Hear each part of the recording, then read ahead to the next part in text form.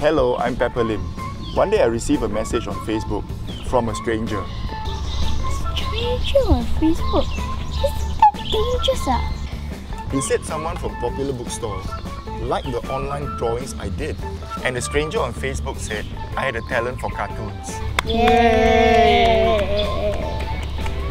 The stranger was Daniel Kong from Keropok Comics, and I created Wilbur and Faraday.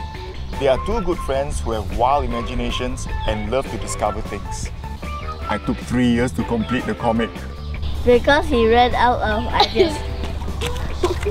I hope you like it and thanks for supporting me.